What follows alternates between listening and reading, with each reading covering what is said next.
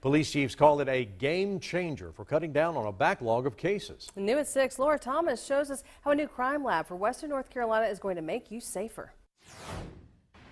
From DWIs to sexual assaults and homicides, officers tell us right now in Western North Carolina, testing for those kinds of cases can be stuck in a backlog for years. But we have cases that are uh, over three years old in the lab. It's why they say breaking ground on the new Western Regional Crime Laboratory is so important.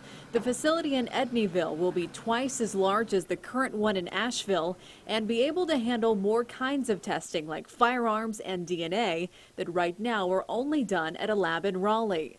DNA helps us to uh, exonerate the innocent and convict the guilty.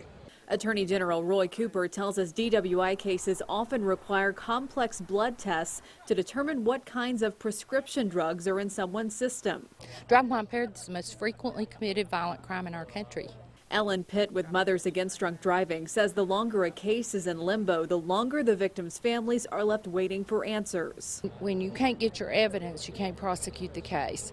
And so there's justice for nobody. Being able to analyze that evidence close to home will speed up that process for every law enforcement agency across the area. There's no question that Western North Carolina will be safer because of this new crime lab addition.